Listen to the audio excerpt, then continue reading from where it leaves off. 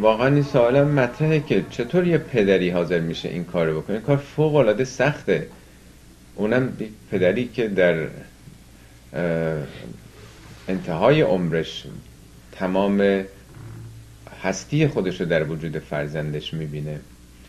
من فکر می‌کنم مثل همه اشتغالات زندگی ما که یک مراحل تمرینی و تدریجی داره قربانی هم همینطوره. قربانی به معنای نزدیک شدن به حقیقت حقجویی.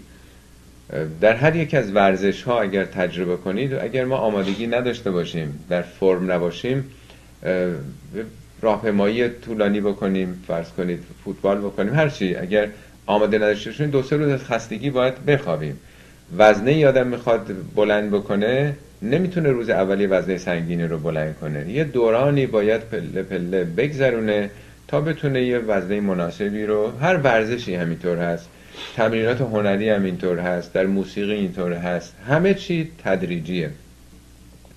آیا ابراهیم ناگهان تونستی همچی گام بلندی برداره؟ یا اونم قربانیش ایثارش و تقربش یا حقجوییش در کل زندگیش بود؟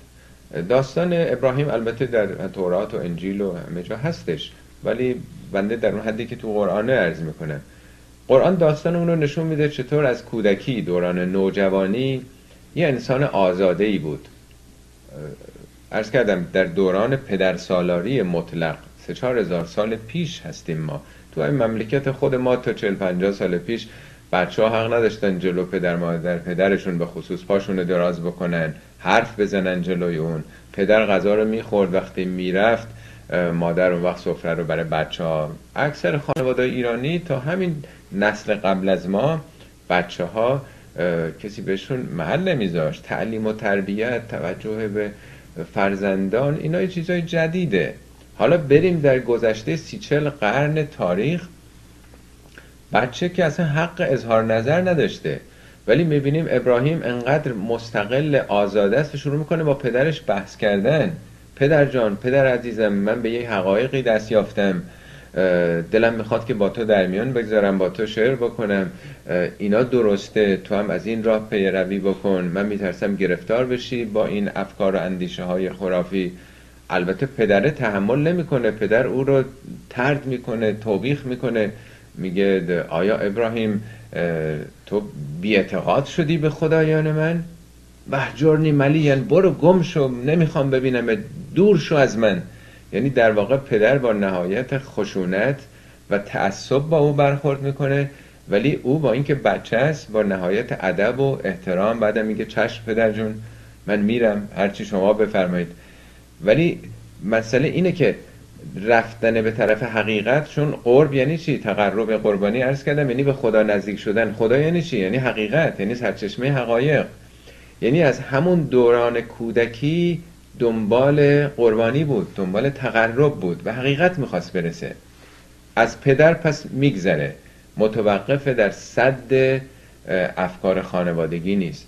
با قوم و قبیله و مردم روزگارش هم سن و سالاش حالا کلاس که نبوده بگیم هم کلاسی یا در همسایه فامیل این ور اون ور مردم کوچه بازار با همه جا بحث می‌کنه. یعنی نشون میده یه آدم بیتفاوتی نیست که بخواد گلیم خودش رو از آب بیرون بکشه.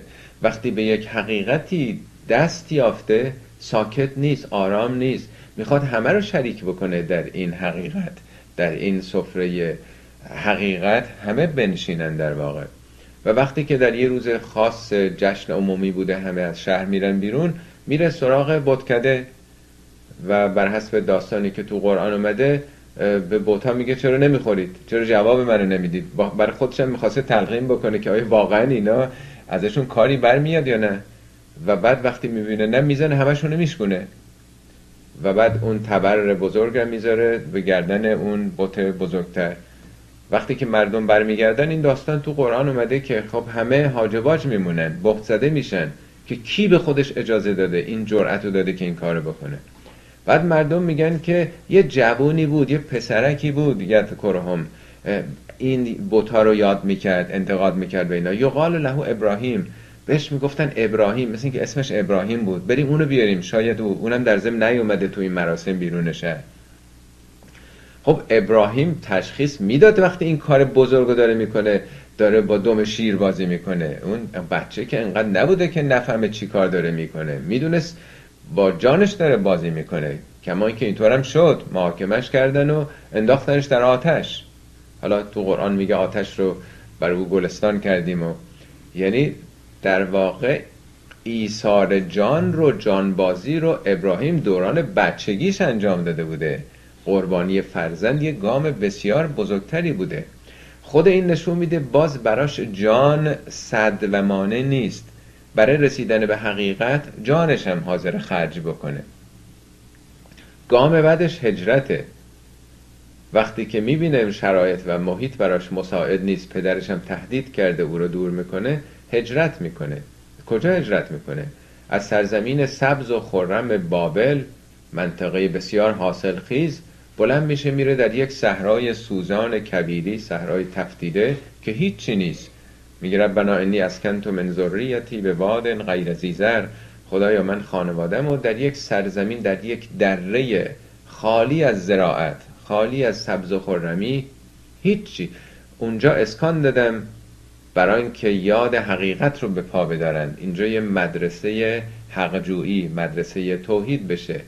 در دورانی که همه توجهشون به بت به قارت به خودخواهی هاست به منیت هاست. می‌خوام یه کانونی که به سمت تو رو بکنند به سمت حقیقت مردم شیفته و مشتاق باشن من اینجا ایجاد بکنم.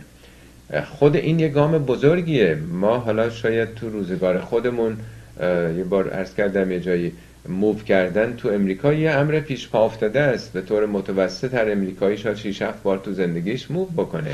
امنیت هست جاب هست همه جا. مشکلی وجود نداره. زن یا مرد هر جای امریکا بخوان می‌تونن برن. ولی ما 50 سال عقب بریم 100 سال عقب بریم. هر کسی همون جایی که متولد شده مسقط و رسش همونجا میمیره. کاری نیست. امنیتی وجود نداره. آدم ها وابسته بودند به در و دیوار خونهشون. یادگارهای گذشته بوده. در و همسایهشون فامیلشون دوستشون. هویت آدم رو تمام اون چیزا که پیرامونشه تشکیل میده. و بعد اصلا جای امنیتی نداشته دولتی وجود نداشته قدیم. نظامات قبیلگی حامی و حافظ و نگهدار افراد بودن. نمی‌شد از اون محدود آمد بیرون. ابراهیم که هجرت می‌کنه ما حالا به صورت ساده می‌خوانیم. در واقع بزرگترین داره نقش رو ایفا می‌کنه. بزرگترین گذشت رو داره می‌کنه ابراهیم. گذشتن از دوستان هم کلاسی ها فامیل در همسایه اینا خودش باز قربانیه باز قرب به خداست. رفتن به سمت حقیقت نه ماندن در یک محیط جغرافیایی. منظورم اینه که زندگی ابراهیم رو وقتی ببینیم مثل اون ورزشکاری که یا وزن برداری که هی وزنه های بزرگتری رو برمیداره ابراهیم از زمان خردسالیش برای رسیدن به حق و حقیقت از خودش هی مایه گذاشته هی از خودش دور شده ریسک کرده خطرات رو پذیرفته و آخرین امتحانش بزرگترین امتحان اینه که خب تو از خودت درآمدی. ولی اون خود خود در واقع چیزایی که آدم تو زندگی به اونا وابسته است. دکتر شریعتی شادروان می‌گفت که خب مردم میرن حج. اولا می‌گفت که هر مسلمونی باید در عمرش یک بار نمایشنامه ابراهیم رو بازی کنه. خودش نقش ابراهیم رو داشته باشه بره این نقش رو ایفا بکنه تلقین بکنه به خودش. بعد می‌گفت او اسماعیلش رو قربانی کرد. تو برو اونجا ببین اسماعیلت کیه اسماعیلت چیه؟ اون پست و مقامت موقعیتت خون زندگیت چیه تو زندگی که تو رو اسیر کرده؟ پایبند او هستی نمی‌تونی از خودت بیایی بیرون. برو اون خودتو کشف بکن. اون چیزی که نمی‌ذاره تو پرواز بکنی. اوج بگیری عروج بکنی. پیدا کردن اونه.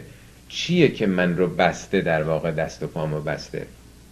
منظور اینه آخرین امتحان ابراهیم هم برای ابراهیم در واقع اون اسماعیلش. حالا به تعبیر اهل کتاب فرق نمی‌کنه. اسحاق مهم اینه که پسرشو دیگه دعوا سر اسامی نیست. هر کدوم می‌خواد باشه برای ما مهم نیستش این.